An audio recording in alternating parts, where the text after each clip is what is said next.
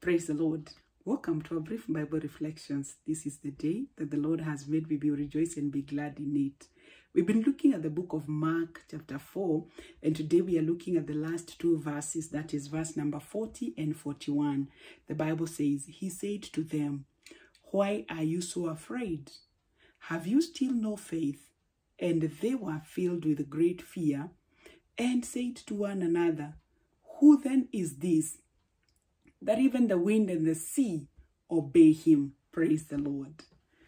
Jesus Christ intervened. We said yesterday that when we call upon him, he intervenes and he does not just look at uh, the situation at hand, he can speak to that situation as he did and said, Peace, be still. And where there was a great windstorm, there was a great calm that was experienced because our Lord Jesus Christ can speak to our situations. He now turns to the disciples. When you look at verse number 38, where they are asking him, Teacher, don't you care that we are perishing? Jesus did not first address them. He first dealt with the situation at hand. And thereafter, when there was a great calm experienced, this is when he turns now to the disciples, asking them, Why are you so afraid? Have you still no faith? Praise the Lord. This shows great love, great concern that the Lord is ready to first deal with the situation that is carrying you. Then he will address your next move in your faith. He did not first turn to them, you know, rebuking them. Don't you still have faith? Why are you so afraid? Why are you waking me up? No, he dealt with the matter at hand first. Then thereafter, he's turning to them. Why are you so afraid? He's addressing them so that after this storm, you will not remain the same way as you are. You need to move to another level. Whatever storm you face in your life, the Lord's intentions is that out of that storm, you will move to another level in your faith.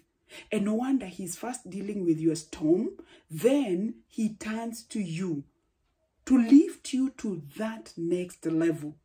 And uh, the disciples were filled with great fear. I'm looking at this portion of scripture where there was a great windstorm, there was a great calm, and again, after their faith was addressed, they were filled with great fear.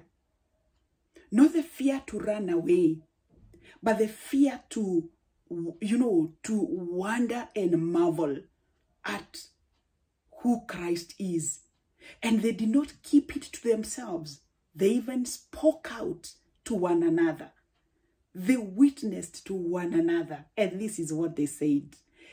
And they said to one another, Who then is this that even the wind and the sea obey him? They witnessed to one another. Brothers and sisters, when the Lord intervenes in our situations, we are called to become his witnesses. And we will not witness so far away. We start where we are. They started with themselves. They said to one another, Who then is this that even the wind and the sea obey him? The miracle that you have experienced today, the breakthrough that you have experienced today, the great calm that you're enjoying today is calling upon you to become God's witness. And don't look to witness very far from where you are. Start right where you are. Turn around to the person next to you. Ask each other, oh goodness, this is great calm. This is great intervention. Who then is this that even the wind and the sea can obey him?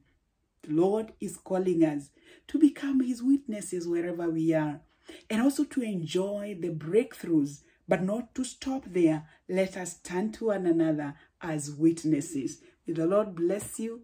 God keep you. Have a lovely weekend. The Lord be with you at all times in the name of the Father, Son, and the Holy Spirit. Shalom.